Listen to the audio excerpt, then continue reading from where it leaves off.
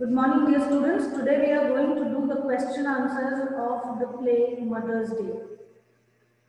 In the previous classes, we read this lesson and understood what is happening, what is the conflict, and how the conflict has come to a resolution, how the conflict has been solved, and who has played that central role in solving the issue. Now let's move on to the NCERT question answer. You can open your book and uh, page number you can take out lesson number 6 and page number 52. Right? So first try to understand the few points which I'm going to speak. The title of the play is Mother's Day. So the first question, justify the title of the play. It's not the first question in our uh, NCERT questions, but significance of the title of the play always, you know, holds importance. And uh, when we talk of the Mother's Day, the significance of the title, first of all, the story centers around mother, Mrs. Pearson. Secondly, she is able to enjoy her day.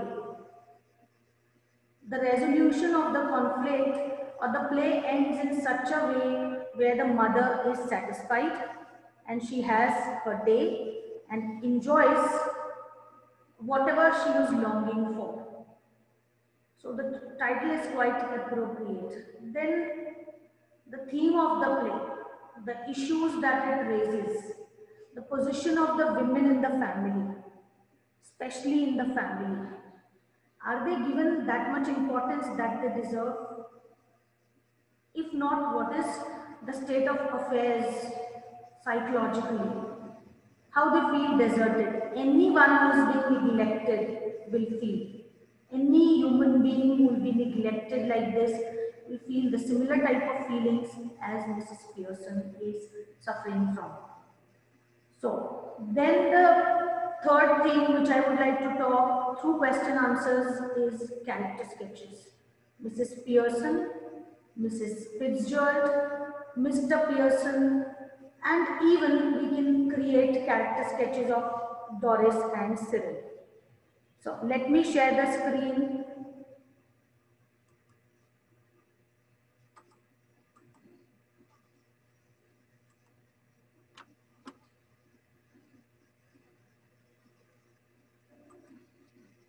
Yes. The play Mother's Day is humorous and satirical depiction of the status of the mother in the family. There are a lot of humorous instances in the lesson. But apart from that, there is a serious issue which has been depicted through satire. Right? When you want to bring unpleasant things before to be understood and rectified, we use satire. We mock and present it. Right? What are the issues the play raises? How does the play resolve the issue or how does the author, the playwright has, so, has solved the issue? I hope you have understood the question. Let's move to the answer. The play raises many serious issues. The first and the foremost is proper appreciation for a mother's role and responsibilities is missing in the house. Those who work out for 8 to 10 hours a day or 40, 45 hours a week treat women members as an unpaid domestic servant who must carry out the orders all the time. The second issue discussed in the play is lack of love and gratitude towards the mother in the family. The husband, the son and the daughter do not reciprocate the love they receive. They do not show that love in return, which is another important issue. So position of woman, this particular mother in the family, who is the representative of all women, where they are all those who are not treated well in their families, and moreover, the love and the gratitude that she should have. It is not a formality to show love to your mother. It is the need to understand each other, we express through love and care, which makes the relationships more cordial. So, the lady of the house, Mrs. Pearson, is often left alone every night, every evening. They go out to enjoy themselves in several ways. They do not take notice of her and prove to be, they have proved, they prove to be thoughtless and selfish. The mother's excessive love and promise in serving them in all aspects had been responsible in spoiling them too in the play. The playwright has used an unusual method to solve the issue. The second part of this question is how does the play or how does the playwright, uh, what does the playwright do to resolve the issue? So, he has brought a character, he has created a character, Mrs. Fitzgerald and her magic. That brings, that is responsible for solving out the issue. This character plays an important role. The playwright has used unusual method to solve the issues. He takes the help of magic of the East and the magical spell helps in the interchange of their personalities and this is all uh, done by Mrs. Fitzgerald. You can add a line here. Mrs. Pearson with the strong personality of Mrs. Fitzgerald gives rough treatment to the daughter Doris, son Cyril and the husband Mr. George Pearson. Her stern looks and commanding tone suggest them clearly that she can be really tough, very tough to them. They agreed to stay and help in preparing the supper while the mother enjoyed the talk with her husband and other pleasures which she had been missing, which she had wanted to do, which she was longing for. Now, the second question. Is drama a medium for conveying a social message? Discuss. You might have seen short skits to convey messages. There are special form of art and they are also, uh, every city, town has a uh, committee also or various NGOs, they present short skits on the uh, major uh, uh, important points of the city, right? And convey the message, whether it is related to smoking, whether it is related to uh, addictions of any issue or anything, whether they are promotion of women, we call them Nukkad Nataks also, right? So drama in various forms has always been a good medium to convey a social message, to reform the society. As direct moralizing is usually ignored. If you directly guide someone and tell someone that they are doing wrong, it will be difficult for us to teach, but through drama and short skit or a small play, uh, through dialogues, through uh, other uh, effects, little effects of costumes and all, little bit it brings and even in elevated way also on the stage in uh, during the stage performances. So dramatic art is presentation of life through characters and the dialogues placed in various situations the attention of the spectators is captivated by the actions and reactions of the characters, leaving a good message, a social message for them to transform. A play is obviously the best medium to convey a message or to portray victory of right over wrong in a wonderful way. Social awareness can be created with this, uh, with the help of plays and skits and all. I hope you have understood these two questions. That is drama a good medium for conveying a social message? And the first one, there is humor and satire in the play and what issues does the play raise? Okay, so and how the conflict, the issues are being solved. So, what do you think the theme, what do you think about the theme of the play? As we discussed, the issues, so you can, little repetitive, but we can frame our answer. The theme of the play discusses the status and position of women in their own household. The housewife here, because we are writing this answer with reference to the play Mother's Day. So housewife here, Mrs. Pearson, has been serving her family in a complete way with utmost care and devotion. and love. However, she was never given the regard and attention. Her eagerness to please everyone reduces her place to an unpaid uh, uh, domestic servant-like state in the family. The theme is worked out by the portrayal of the Pearson family. The interchange of personalities and the harsh treatment faced by the family members with the help of Mrs. Fitzgerald in the body of Mrs. Pearson reforms them, changes them. You could write even in the past tense, changed them completely. They found themselves socially cultured and more willing or willing to help and understand Mrs. Pearson's woes and problems. Okay. I hope, dear students, you have understood. Right? Shall we move further? Yes? Very good. Very good. So, what impression do you form of Mrs. Pearson? This is an important question. All are important, but because we understand the lessons through characters and their, as we discussed, actions and reactions, how they behave. So, Mrs. Pearson is the central character of the play or in the play Mother's Day as the story centers around her. She is introduced as an anxious mother, as a worried woman in her 40s. She speaks in a light and florid so, sort of tone. She loves her husband and children very much and on not receiving the same, she felt lonely, neglected, but at the same time, she didn't have the courage, she couldn't find the courage to discuss these things openly with them. Right? So, she feels neglected, but she doesn't have the courage to talk about these things. She has been depicted a tender-hearted mother who was shocked to see the rough treatment being given to her children and her husband when Mrs. Fitzgerald was treating them harshly. She did not like even that either. So she is herself being treated harshly she cannot do the same to her family. So a very tender hearted.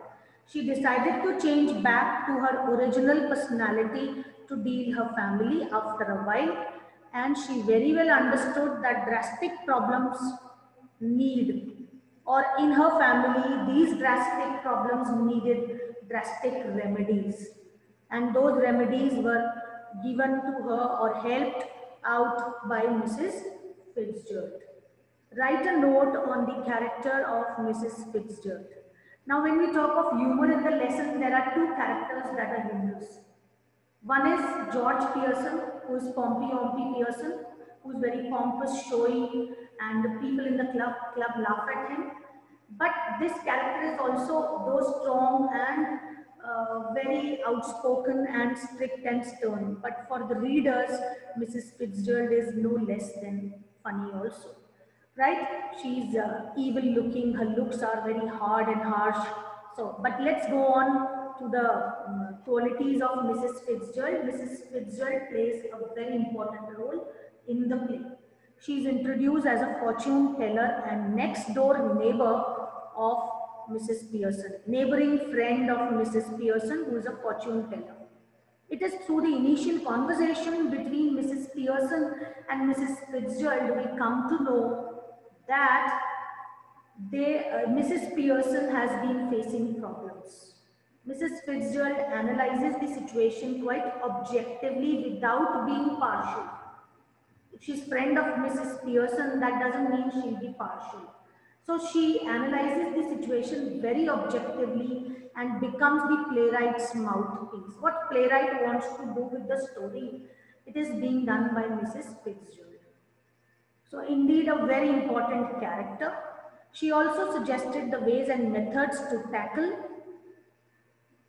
Since Mrs. Pearson did not have enough strength and courage to deal her family, Mrs. Fitzgerald's proposal of interchanging of personalities proves out to be a boon.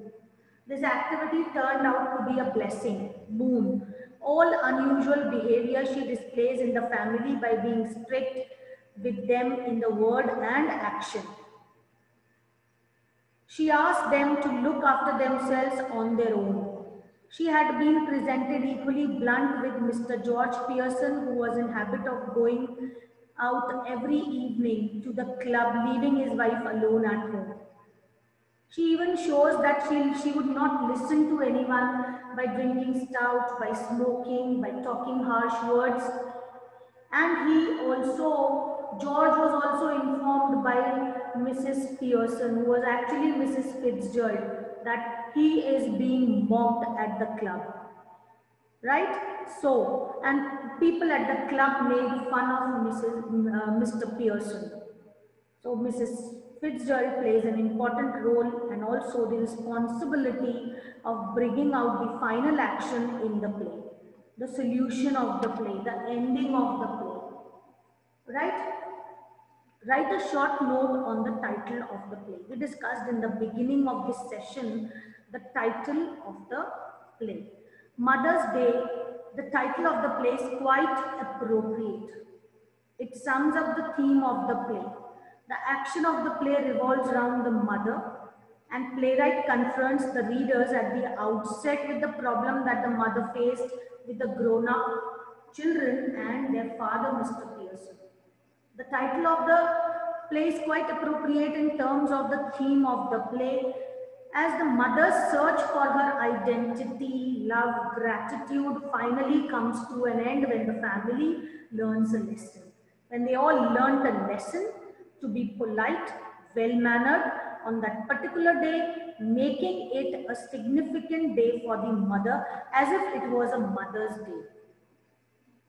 So that's why the title is quite appropriate and significant. It moves with the story wonderfully. The supper being prepared by the children and the stay at home and the family game of rummy was a rare gift that the mother received on that important day. So I hope, dear students, these questions are well understood by you all and this is a sort of revision as well as what all we have done has been uh, you know revised and recapitulated. So I hope they are clear.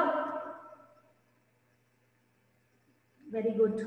Others can also give responses. Very good. Very good. Pragya and Samriddhi. Yes. Now, word meanings. Let's revise these few meanings which will help you in MCQs or uh, in, uh, this is important children to develop a vocabulary and uh, to learn words which we have been reading. Now, the first word. The meaning is, the word is sinister. So, inauspicious, evil looking, right? To put your foot down, to be strict, dubiously, doubtfully, right? Complacently, feeling satisfied, complacent, grimly, seriously, chuckling, laughing quietly, indignantly, angrily. Someone can come and read out the words and their meanings voluntarily? Yes?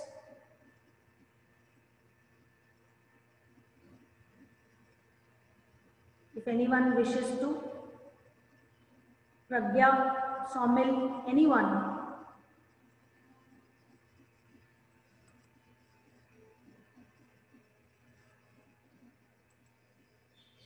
Okay.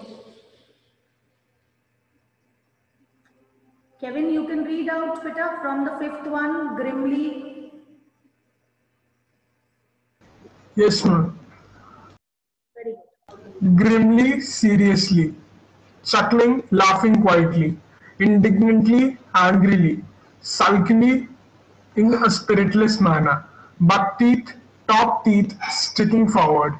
Half-witted, stupid. Given myself up as a bad job to stop doing staggered, shocked, laconic, speaking less, clot, a silly person, concussion, a mild brain injury that affects its functioning. Guffaw, laugh noisily. Contempt, act of disregard. Solemn, serious. Pompous, displaying pomp, showy. Blabbering, to talk foolishly. Dazed, unable to think. Glumly, moodily. There's one word, there was laconic, speaking less. You can say that when a person is very concise, when he speaks with less words, that is laconic, right? So I hope these words will also help you out because we have done these in the lesson. Let me stop the sharing part. I hope, dear children, these words are clear or shall we revise once again or you can read. You, you can write in your uh, book also with the pencil, right? You can read them in your mind for a minute. We have been doing these words, but a little revision will definitely help you out. Right?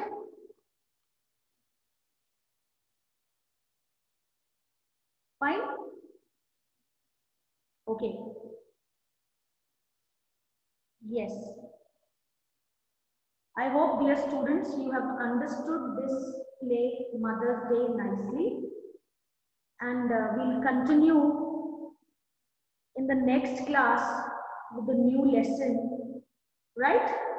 God bless you all. Stay safe and happy and sound.